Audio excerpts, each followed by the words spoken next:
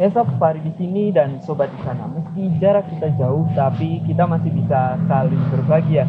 Sobat sekalian, mungkin kalau Fahri bahas Monstera variegata, Monstera marmorata, deliciosa, sudah sering dan sudah biasa ya.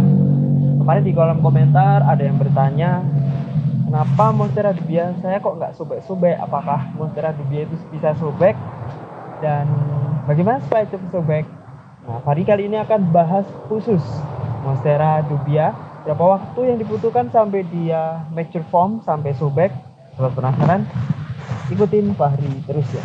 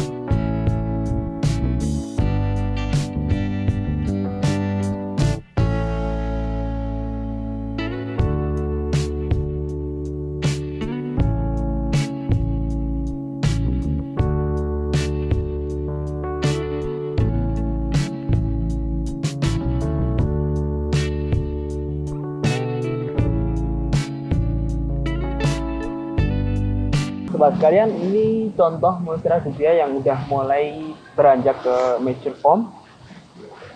Jadi sebenarnya uh, monstera dubia ini berasal dari mana sih sobat sekalian oke nama botanisnya dulu ya untuk monstera dubia. Ini jurnal ilmiahnya dibuat atau botanisnya penelitinya itu oleh Gustav Heinrich Adolf Engler. Makanya kalau sobat kalian searching Monstera dubia belakangnya itu ada dalam kurung Engler jadi nama botanisnya adalah Gustav Heinrich Adolf Engler yang meneliti tentang Monstera dubia sobat sekalian untuk penyebarannya Monstera dubia ini bukan berasal dari Indonesia sobat sekalian jadi berasal dari Amerika tropis khususnya di Brazil kemudian di hutan Amazon Amazonia sekitar hutan Amazon ya. Hutan Amazon itu di sepanjang sungai Amazon itu di Venezuela, Costa Rica, Brasil. Ini adalah sosok Monstera dubia yang beranjak ke mulai sobek, mature form. Berapa lama sih waktu yang dibutuhkan sampai dia mature form? Oke, kita perhatikan dulu Monstera dubia itu ketika masih juvenile form. Ketika masih juvenile form itu warnanya sangat bagus ya, ada silvernya. Kemudian mirip dengan Skindapsus ataupun Raphidophora hayi bentuknya mirip. Dan dia mutlak butuh tempat untuk memanjat karena dia hemiepifitik yaitu dia memanjat bukan merambat loh ya memanjat. Jadi Fahri selalu menyediakan turus untuk Monstera dubia ini supaya dia tidak mengecil daunnya. Ini sobat perhatikan ya di sini. Jadi daun bawahnya itu harus lebih kecil dari daun atas atau daun atasnya itu harus selalu semakin besar semakin besar dibandingkan daun bawah. Ini tanda bahwa Monstera dubianya tumbuh dengan optimal. Kalau daun ke atasnya semakin kecil berarti ada yang salah ya. Entah itu medianya atau telat memberikan turus. Ini contoh Monstera dubia yang Fahri sudah rawat sekitar 2 tahun tadinya dari daun yang juvenil. Kemudian Fahri akan tunjukin yang memang benar-benar gak sobek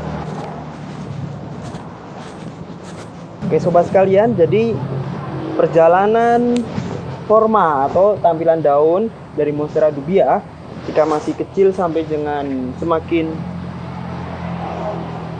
mature form ini terlihat ya. Jadi uh, untuk daun yang masih juvenil banyak silvernya sobat sekalian. Kemudian semakin naik silvernya semakin hilang semakin hilang. Kemudian dia mulai berlubang dan ini akhirnya sobek seperti ini ini adalah mature form dari Monstera dubia. Sobeknya itu kayak diiris-iris tuh unik ya. Jadi warna silvernya hilang.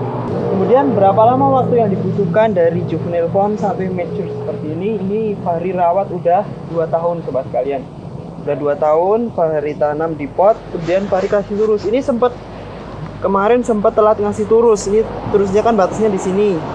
Nah kemarin sempat telat kasih turus jadi ini yang harusnya lebih besar dari ini ukurannya lebih kecil. Tapi setelah Fahri kasih turus dia makin besar lagi. Jadi indikatornya dia harus makin besar.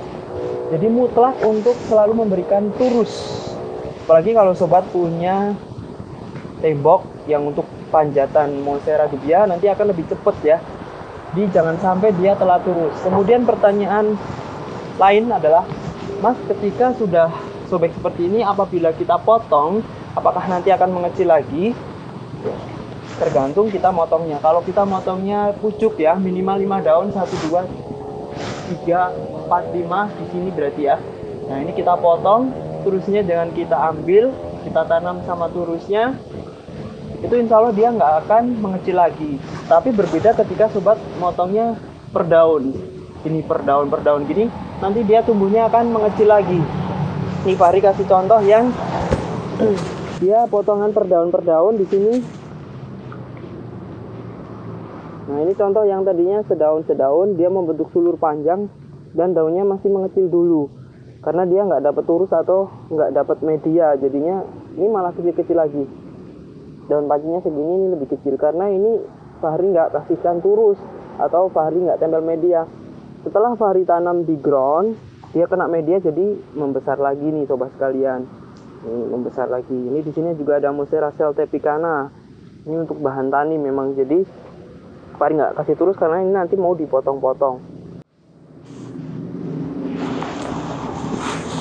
Kemudian apa sih media yang digunakan untuk monstera dia Fahri pakai sekam fermentasi. Fahri udah pernah share cara buatnya di video sebelumnya baik itu untuk yang sekam fermentasi biasa ataupun yang untuk tanaman varigata Nah kalau lebih bagus lagi pakai yang metan variegata, tapi costnya nanti akan tinggi. Pakai sekam fermentasi yang biasa aja sebenarnya udah bagus ya. Jadi intinya untuk Monstera dubia ini jangan sampai telat turus untuk rambatan supaya dia cepat sobek, supaya cepat mature ya. Jadi nggak bisa nggak bisa instan ya. Jadi Fahri aja nunggunya 2 tahun sobat sekalian 2 tahun. Dua kali lebaran ini pun masih bisa lebih besar lagi. Ini baru proses awal dia mature form nanti daunnya bisa gede. Seperti Monstera deliciosa ya daunnya bisa gede. Meskipun nggak sebesar Monstera deliciosa tapi paling tidak dia bisa gede nanti. Saya akan tunjukkan yang gede seperti apa. Oke Fahri juga punya Anthurium papilaminum Fort Sherman nih di sini sobat sekalian.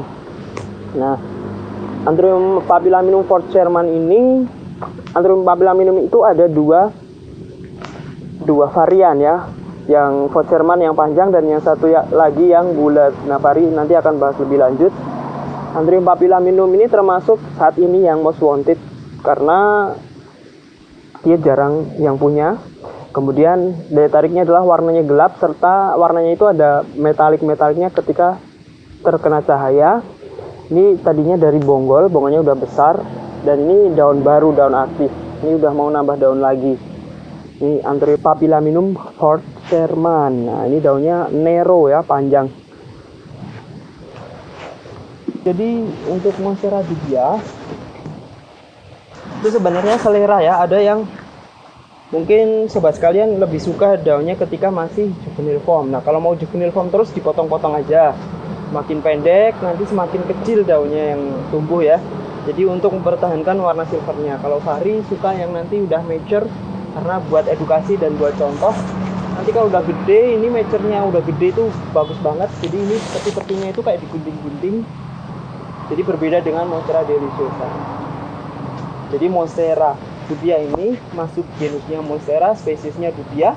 Jadi penyebarannya adalah di hutan Amazon dan juga Brasil serta untuk botanisnya adalah Gustav Hendrich Adolf Engler. Itu tidak ada perawatan khusus sih untuk media dan penyakit sama dengan aroid yang lain. Oke, Fahri akan tunjukkan Fahri yang kemarin potong di sebelah sana. Itu Fahri potong satu karena itu ada dua pohon.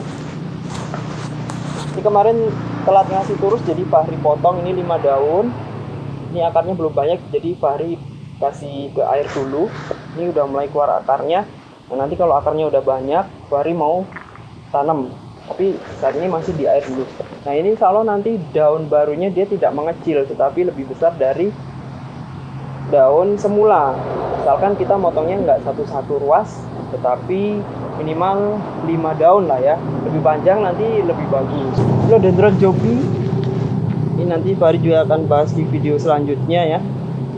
Ini adalah termasuk philodendron yang Fahri pengen banget dari dulu dan alhamdulillah sekarang udah punya mature size nya dua ada yang potongan itu satu.